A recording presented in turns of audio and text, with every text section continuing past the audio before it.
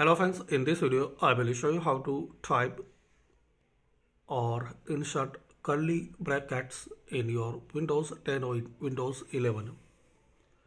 So guys very simple. You have to find out this key and you will see the picture of uh, bracket. So there is the two curly and square.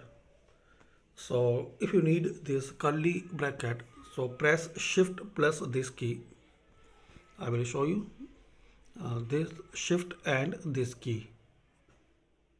This is the shift and this key and press.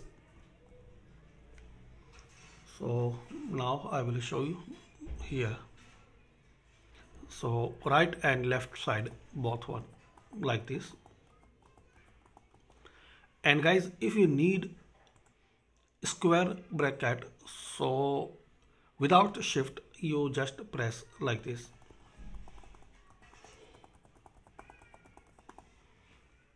So this is the square brackets. And using this key this one you can insert and type these both type of brackets. Thanks for watching guys. Subscribe this channel